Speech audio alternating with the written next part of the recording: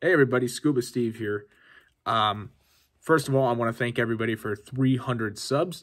It really means the world to me. Um, I never really thought my channel was going to get as far as it is, and I can't thank everyone enough. So, and for that, I owe you an explanation as to why there has not been many uploads. The reason is I work third shift for FedEx, and needless to say, it's very tiresome to do so. I mean, humans are not supposed to be nocturnal anyway, and the fact of the matter is, being tired all the time just kind of sucks, honestly. So I haven't had much time to run trains or anything of that fun nature. But um, this video, uh, I'm going to do a redo of one of my earlier videos, and it's going to be a redo of a review on the Union Pacific um, MTH propane turbine. So stay tuned for that. After World War II, the Union Pacific Railroad sought to remove steam locomotives from their roster, and that included the 4884 Big Boys. Diesel locomotives have been prevalent for a little while now, but most cranked out a maximum of 1500 horsepower and could not handle the loads that the Union Pacific was experiencing at that time. So the American Locomotive Company, ALCO, and General Electric GE teamed up to build gas turbine electric locomotives. The Union Pacific Railroad was the largest operator of gas turbine electric locomotives in the world.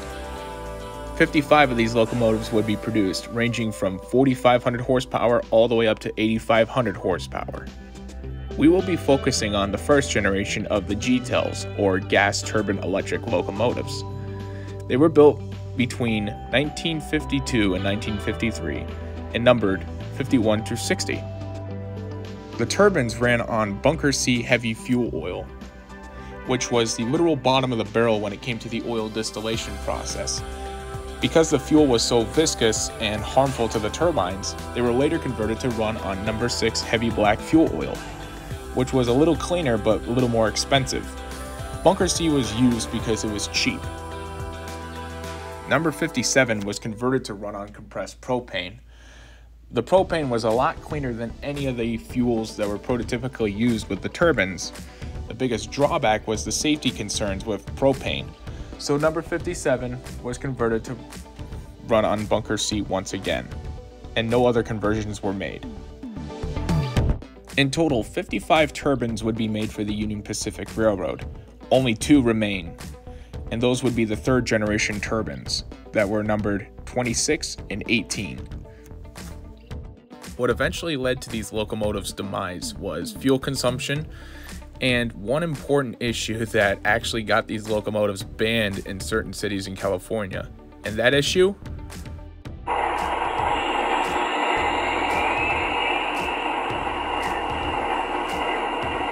the noise level. Whenever these turbines idled underneath an overpass, the asphalt would melt. The third generation of gas turbine locomotives were nicknamed Big Blows because the residents nearby the tracks did not like the sound, or they were nicknamed bird burners, which was a little less common. Now we're going to take a good look at this model. Starting up front, you have a, a remote coupler the pilot's pretty plain, but um, to be honest, pilots on the turbines were pretty plain, and this is prototypically correct. You have the UP uh, shield and wings, light and number boards, marker lights. This is your Mars light, and these are your headlights. Uh, you have horns up top, and uh, you have number 57 painted there. Moving back a little bit, you have your sandboxes here Again, your horns. This is your turbine intake.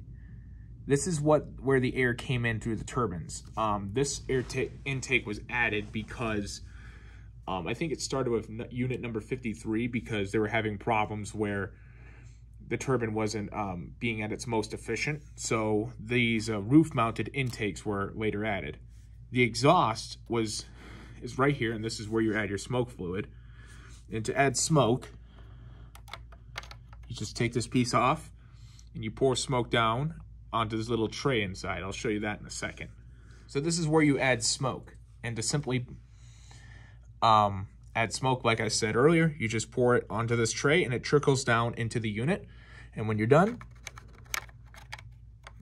you place your uh, smokestack back on top like that. One thing to note about the uh, exhaust is that it's angled back because the intake is right here. Because you don't want to have your exhaust gases getting mixed in with your incoming fresh air. Back a little further, you have lines coming from the propane tank, which is right here, that are going to be sent into your turbine.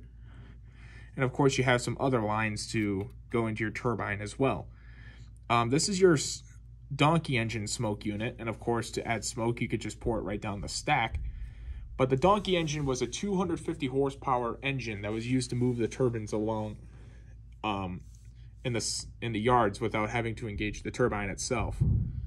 I know I keep saying turbine and turbine, doesn't matter to me. I think somebody made fun of me for that, but we'll see if somebody else does. Back here is your propane tank. Um, these hoses I just added, they were just uh, clear fuel hose. There is a like a and pin type connector right here. This is your connection for your rear coupler. This hatch opens, but there's really nothing to look inside unless you want to look at that screw in there. Uh, the turbine's tender is die-cast where the locomotive is made out of ABS. This locomotive was equipped with MTH's Protosound 2 and was cataloged back in, I think it was 01 and they were delivered around 2002. So this model is around 20 years old. I wanted this model ever since I was a kid, so I'm kind of glad when I got it. All right, now let's power this thing up.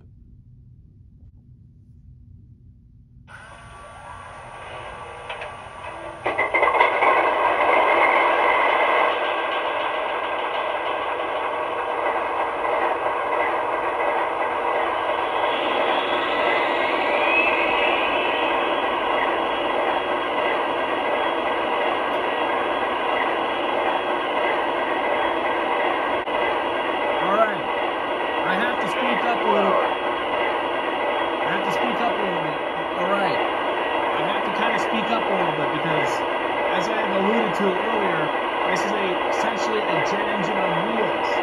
It's a gas turbine locomotive. And these things were so loud, these were actually banned in certain cities There's the crew talk going for you. So let's check out some of the sounds. Here's the horn.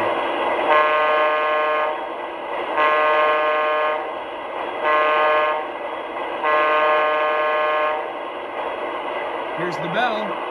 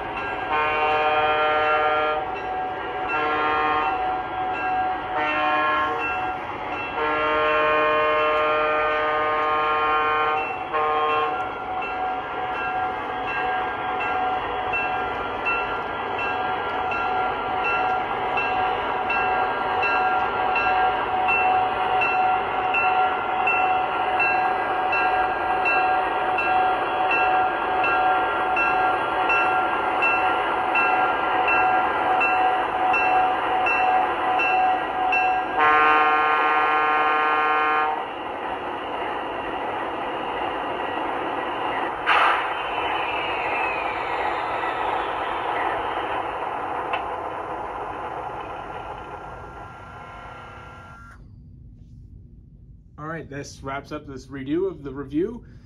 Uh, thank you all for watching. Uh, please like, favorite, share, and subscribe for more. And I'll talk to you all later. Steven out.